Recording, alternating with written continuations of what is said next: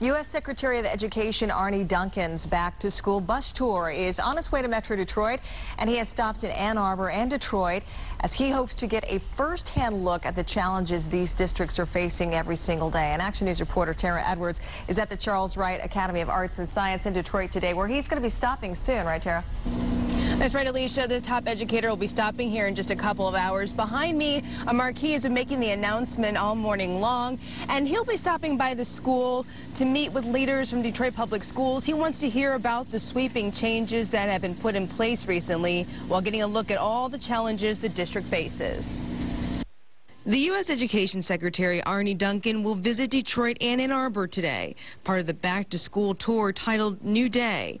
He will be joined by Governor Snyder, Detroit Mayor Dave Bing, and DPS Emergency Manager Roy Roberts. Duncan plans to meet with teachers, students, parents, administrators to get a first-hand look at recent changes in the district. Those changes were initiated by the state in hopes of turning around the struggling district one that has been dealing with declining enrollment. This comes a day after the district announced that more than 43,000 students turned out for the first day of school, 3,000 more than last year, but still only about 51% of the estimated enrollment. The district lost $3.5 million in state aid last year because attendance during the first nine days of school was below 75%.